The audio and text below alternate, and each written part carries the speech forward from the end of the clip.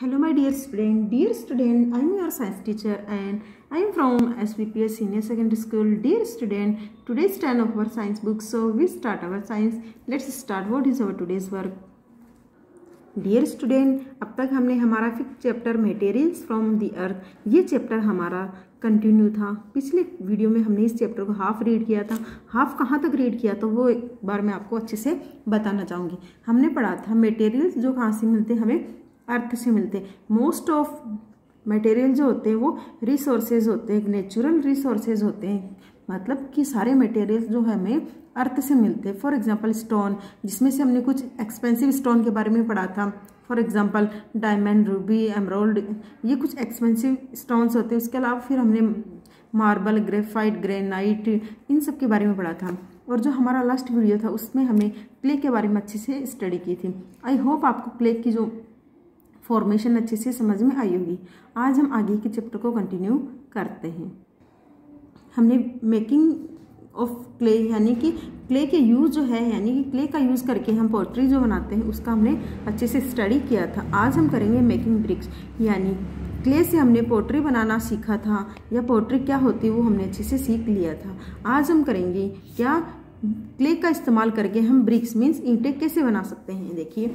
Clay is also use to make bricks देखिए clay is also use to make bricks clay का इस्तेमाल, यानी चिकनी मिट्टी का इस्तेमाल ईंटें बनाने में किया जाता है। We use bricks to make building and pavements bricks का इस्तेमाल किसमें करते हैं हम? बिल्डिंग्स बनाने में पेमेंट में रास्ते या फुटपाथ बनाने में हम ब्रिक्स का इस्तेमाल करते हैं। Bricks are baked in bricks kilns bricks जो होती है ईंटें जो होती है ईंट की जो क्लीन्स क्या होता है? भट्टा होता है भट्टी जिसको बोल सकते हैं, उसके अंदर इनको बेक किया जाता है मीन्स पकाया जाता है। आगे है मेकिंग सीमेंट क्ले का इस्तेमाल करके हम सीमेंट कैसे बना सकते हैं? आप अच्छे से जानते हो सीमेंट क्या होती है? तो वो हम कैसे बना सकते हैं? By using clay cement is made by mixing clay with a rock called limestone cement का इस्तेमाल सॉरी क्ले का इस्तेमाल करके सीमेंट बनाई जाती, कैसे?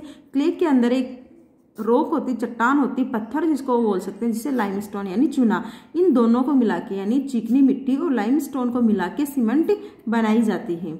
Then cement is mixed with sand and water it forms a thick paste like mixture called water और clay का इस्तेमाल करके और लाइमस्टोन इन दोनों को मिक्सअप करके सीमेंट बनाई जाती है और इस सीमेंट में पानी और मिट्टी मिला के, सैंड मिला के, बजरी मिला के एक पेस्ट बनाया जाता है पतला पेस्ट बनाया सॉरी थिक पेस्ट बनाया जाता है, गाढ़ा पेस्ट बनाया जाता है, जो क्या कहलाता है उसे मोटर कहा जाता है। Have you have you seen a mason laying a wall क्या आपने कभी किसी मिस्त्री को दीवार बनाते हुए देखा है या दीवार के साथ में मोटर को चिपकाते हुए देखा है? He puts a layer of mortar between the bricks to hold them together mason क्या करता है? दो ईंटों के बीच में मोटर है। यानी जो गाढ़ा पेस्ट होता है, जिसे गारा हम बोलते हैं, वो लगाता है और दो जो ईंटें होती हैं, उनको एक साथ चिपकाने के लिए होल्ड करने के लिए मोटर गारा लगाता है। तो ये क्या था? इतना हमारा हो गया था। क्ले का कितना यूज़ है? या यूजेज ऑफ़ क्ले हमारा अच्छे से कंप्लीट हो चुका है। अब एक नया जो हमारा टॉपिक है, वो देखिए क्या मेटल्स अब मेटल्स भी हमें कहाँ से मिलते हैं? मेटल्स भी हमें अर्थ से मिलते हैं। ये भी नेचुरल रिसोर्सेज हैं। इनके बारे में हम अभी क्या करेंगे? डिटेल में स्टडी करेंगे। Metals are generally hard and shiny metals धातु कहा जाता है। मेटल्स को हिंदी में धातु कहा जाता है। धातु जो होती ज़्यादातर कठोर और चमकदार होती है। Some rocks have metals in them कुछ चट्टाने ऐसी होती हैं जिनके अंदर क्या पाया जाता है? मेटल या धातुएँ पाई जाती हैं। यानी चट्टाने, पत्थर ऐसे होते हैं जिनके अंदर मेटल्स पाए जाते हैं। Such rocks are called ores और इन रॉक्स को, कौन सी रॉक्स जिनके अंदर मेटल्स पाए जाते हैं, उनको अयस्क कहा जाता है ओरस को हिंदी में कहा जाता है अयस्क। यानी सारी जितनी रॉक्स होती है सारी चट्टानी होती है, उनके अंदर ओरस यानी अयस्क नहीं पाए जाते। कुछ ऐसी होती है जिनके अंदर ओरस पाया जाता है। तो जिनके अंदर मेटल्स पाया जाता है तो उन्हें ओरस कहा जाता है।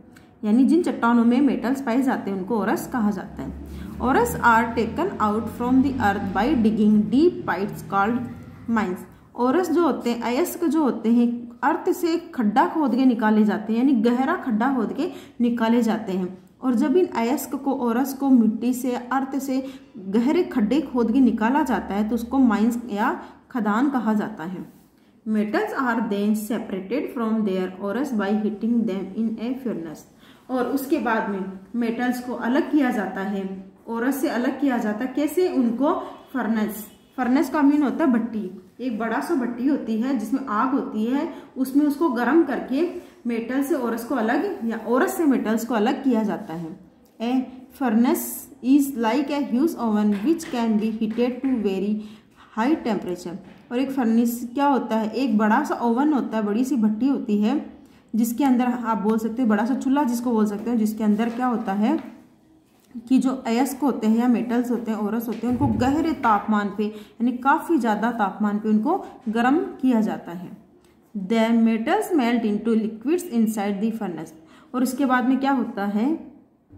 देखिए the metals melt into liquid inside the furnace और जो फर्नेस होता है, यानी भट्टी जो होती है, उसके अंदर जो मेटल क्या करते हैं? औरत से मेटल को अलग करने के लिए जब उसको गर्म किया जाता है तो ये मेटल्स मेल्ट हो जाते हैं और लिक्विड फॉर्म में आ जाते हैं। यानी मेटल्स है तो सॉलिड फॉर्म में, लेकिन जब इनको गर्म किया जाता है तो ये लिक्विड फॉर्म में आ जाते हैं।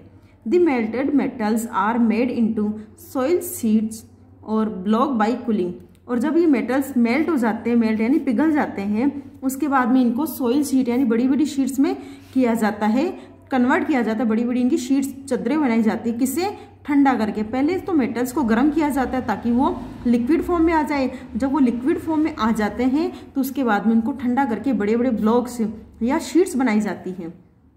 Metals can also be beaten into thin sheets और drawn into very long wires और मेटल्स को क्या किया जाता है? उसके बाद में ज़ोर ज़ोर से पटक पटक के तोड़ा जाता है।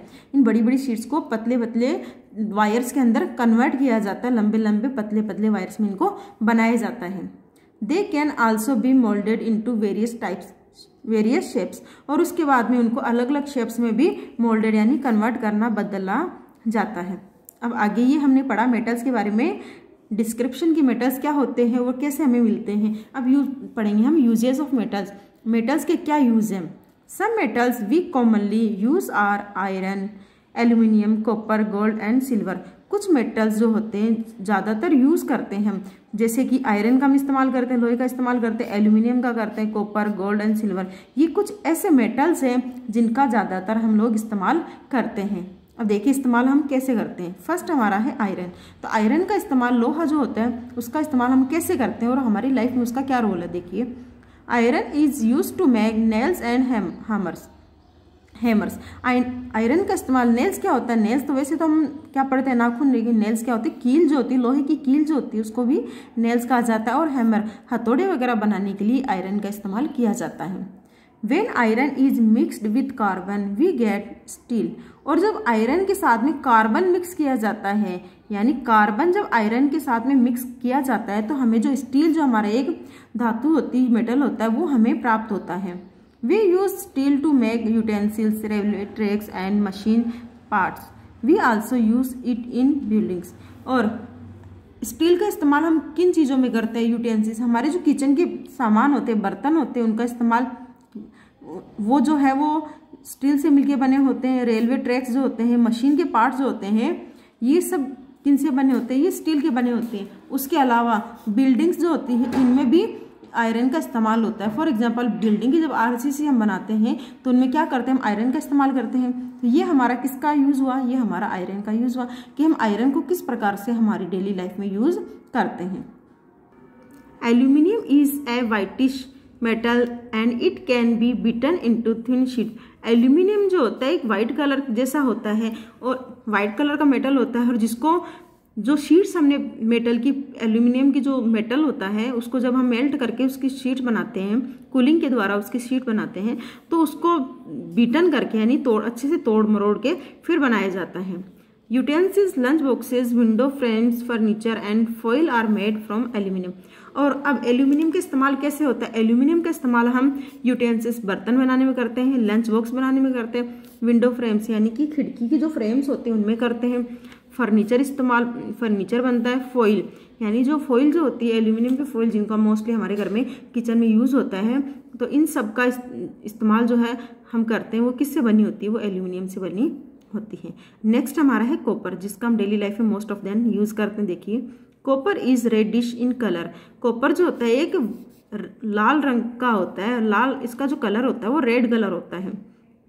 It is use to make electric wires और इसका इस्तेमाल ज़्यादातर जो है मोस्ट ऑफ़ देन कॉपर का इस्तेमाल जो है, वो इलेक्ट्रिकल वायर बनाने में किया जाता है। Copper is mixed with other metals to form brass and bronze और उसके अलावा कॉपर के साथ में और मटेरियल को मिक्स करके, और मेटल्स को मिक्स करके क्या बनाया जाता है? ब्रास यानी पीतल ब्रॉन्ज यानी तांबा। तो इन कॉपर के अंदर बाकी अगर मेटल्स हम मिक्स करते हैं तो उनको मिक्स करने के बाद में पीतल और तांबा बनता है। Brass is use to make utensils locks and musical instruments such as trumpets and drums और ब्रास का इस्तेमाल, पीतल का इस्तेमाल कैसे करते हैं? पीतल के इस्तेमाल से हम बर्तन बनाते हैं लॉक्स बनाते हैं, जो ताले हमारे बनते हैं, वो बना सकते हैं म्यूजिकल इंस्ट्रूमेंट बनते हैं। अब म्यूजिकल इंस्ट्रूमेंट कौन से बना सकते हैं? फॉर एग्ज़ाम्पल ट्रम्पेट ट्रम्पेट जो होता है या ड्रम्स होते हैं, ये किससे बने होते हैं? ये आपके ब्रास, यानी पीतल से बने होते हैं। Bronze is use to make bells, coins medals and parts of musical instrument. और ब्रॉन्ज, तांबे का इस्तेमाल करके हम क्या कर सकते हैं? तांबे का इस्तेमाल करके हम बेल्स बना, घंटियाँ बना सकते हैं, सिक्के बना सकते हैं मेडल्स बना सकते हैं और म्यूजिकल इंस्ट्रूमेंट होते हैं, उनके पार्ट्स हम बना सकते हैं। तो ये तो आपके क्या थे, जो कम एक्सपेंसिव थे, जिनका हम मोस्ट ऑफ़ देम हमारी लाइफ में यूज़ होता है, वो है। अब जो एक्सपेंसिव होता है गोल्ड जो काफ़ी महँगा होता है, उसका हमारी लाइफ में क्या यूज़ है, वो देखिए। Gold and silver are precious metals gold और सिल्वर क्या होते हैं? प्रीसियस काफ़ी कीमती होते हैं। They are use to make jewellery और गोल्ड और सिल्वर जो होते हैं प्रीसियस होते हैं, काफ़ी महँगे होते हैं। और इनका इस्तेमाल हम क्या करते हैं? कैसे करते हैं इनका इस्तेमाल? हम ज्वेलरी बनाने, गहने बनाने में करते हैं। तो ये क्या थे आपके मेटल्स अब हमारा नेक्स्ट मेटल जो वो क्या है? ग्लास ग्लास भी एक तरीके का मेटल है, देखिए। Glass is a hard and brittle material glass जो एक हार्ड होता है, कठोर होता है, लेकिन ब्रिटल ब्रिटल का मीन होता है जिसको आसानी से तोड़ा जा सकता है। अभी जो हमने मेटल पढ़े थे, वो आसानी से तोड़े नहीं जा सकते। उनको पहले मेल्ट करना होता है किसमें फर्निस में उनको मेल्ट किया जाता है, फिर उनको कूल किया तो ग्लास जो होता है, एक ब्रिटल मेटल मटेरियल होता है, जो क्या करता है, जिसको हम आसानी से तोड़ सकते हैं। अगर हिंदी में इसको बोलते हैं तो इसको हम भंगूर बोल सकते हैं, जिसका मीन होता है, जिसको हल्की सी चोट लगने पर तोड़ा जा सकता है। It is made by heating a mixture of sand sand means silica lime and soda और ग्लास कैसे बनता है? ग्लास जो होता है होता है, वो हीट करके बनाया जाता है। यानी हीटिंग के द्वारा बनाया जाता है। हीट जब इसको हीट करते हैं तो किसको हीट करते हैं? सिलिका लाइम एंड सोडा इन तीनों को मिक्स करके, गर्म करके, फिर किसका फॉर्म बनता है? फिर ग्लास का फॉर्म बनता है।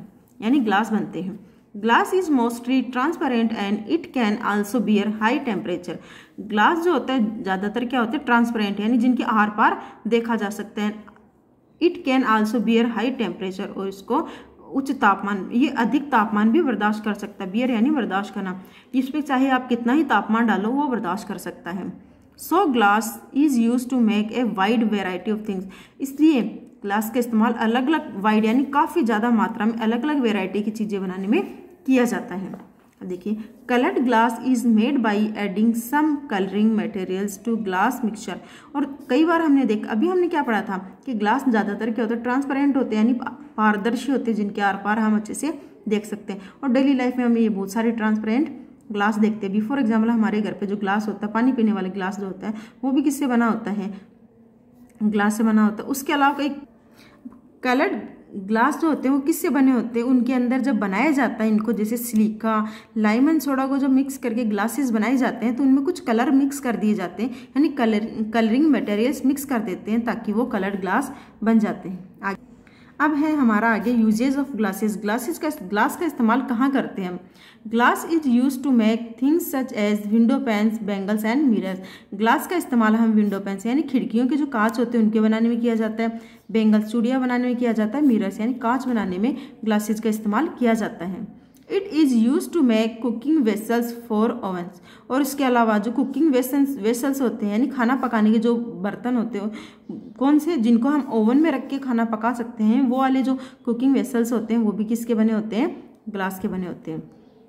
Glass is use to make lenses for spectacles and magnifying glasses और इसके अलावा ग्लास का इस्तेमाल मैग्नीफाइंग सूक्ष्म दर्शी के जो ग्लास होते हैं, उनमें भी किया जाता है। और जो चश्मा जो होता है स्पेक्टिकल्स यानी चश्मे, उनके जो लेंस बने होते हैं, वो भी किससे बने होते हैं? वो भी ग्लास से बने होते हैं। It is use to make laboratory equipment such as beaker and flask flask उसके अलावा ग्लास का इस्तेमाल लेबोरेटरी के इक्विपमेंट जो होते हैं लेबोरेटरी में जिन जिन इक्विपमेंट का इस्तेमाल किया जाता है, वो मोस्ट ऑफ़ किसके बने होते हैं? ग्लास के। उसके अलावा बिकर्स एंड फ्लास्क अब ये आपका फ्लास्क ये किसका बना हुआ है? ये कांच का बना हुआ है। क्यों? क्योंकि लेबोरेटरी में जितना भी हम वर्क करते हैं मोस्ट ऑफ़ उसको हीट करना पड़ता है। और ग्लास जो होते हैं, वो काफ़ी हीट बियर कर सकते हैं। ये हमने अभी पढ़ा था। आगे glass is use to make electrical bulb and lenses for telescopes और उसके अलावा ग्लास का इस्तेमाल इलेक्ट्रिकल बल्ब बनाने में किया जाता है और टेलीस्कोप उनके लेंसेज बनाने में भी ग्लास का इस्तेमाल किया जाता है। तो यहाँ आज हमारा चैप्टर कंप्लीट हुआ है। आई होप आपको ये चैप्टर समझ में आ गया होगा। अगर फिर भी आपको नहीं समझ में आता है, अगर आपको कहीं क्यूरी है या कन्फ्यूज़न है लिटिल बिट तो आप कमेंट्स में हमें पूछ सकते हो। और अभी हम करेंगे इसके टिक दी करेक्ट ऑप्शन यानी कुछ वर्क हम इसका कर लेते हैं ताकि आपको होमवर्क में कुछ करने के लिए मिल जाए। तो देखिए फ़र्स्ट है हमारा टिक दी करेक्ट आंसर हमें करेक्ट आंसर को राइट का मार्क करना है। फ़र्स्ट क्वेश्चन है right sorry materials are called dash resources materials जो होते हैं, वो कौन से रिसोर्सेज होते हैं? इनको कौन से रिसोर्सेज कहा जाता? है नेचुरल आर्टिफिशियल या मैनमेड तो जैसा हमने चैप्टर स्टार्टिंग में पढ़ा था मटेरियल्स जो होते हैं, वो नेचुरल रिसोर्सेज होते हैं। क्यों? क्योंकि वो हमें अर्थ से मिलते हैं नेचुरली हमें वो प्राप्त होते हैं। तो यहाँ हम नेचुरल रिसोर्स पे राइट का मार्क करेंगे। यहाँ आप क्या लिखोगे? नेचुरल रिसोर्सेज सेकेंड है the grey coloured rock is तो ग्रे कलर की जो रॉक होती है, उसे क्या कहा जाता है? तो ऑप्शंस में देखिए। तो जे, जो ग्रे कलर की रॉक होती है, उसे क्या कहा जाता है? मार्बल क्ले या ग्रेफाइट तो मार्बल नहीं कह सकते। क्ले नहीं कर सकते क्योंकि इनके यूजेज और इनके बारे में हमने स्टडी किया था। जो ग्रेफाइट जो होता है, जिनको पेंसिल लीड में इस्तेमाल किया जाता है, वो कैसा होता है? ग्रेफाइट हमेशा ही ग्रे कलर का होता है। आगे है diamond is a kind of diamond क्या है? स्टोन ब्रिक्स या पेबल डायमंड क्या है? डायमंड हमने पढ़ा था, एक प्रीसियस स्टोन होता है, महँगा पत्थर होता है। तो ये आज आपका वर्क हो गया है। आज आपको क्या करना है? आज आपको इस चैप्टर को अच्छे से स्टडी करना है, जो मैंने आपको अच्छे से समझाया। और आपको इस चैप्टर के टिक दी करेक्ट जो है, ये तीन क्वेश्चन आज आपको अपनी नोटबुक में लिखने हैं। उसके अलावा आपको क्या करना है? आपको यूजेज ऑफ़ ग्लास अपनी नोटबुक में अच्छे से लिखना है और लर्न भी करना। जो भी वर्क मैंने आज आपको दिया, वो आपको राइट करना ही है, साथ में उसको लर्न भी करना है। और again i say if you have any confusion then you can ask in comment and share this video like this video. And thank you for watching this wonderful video. Have a nice day. Thank you so much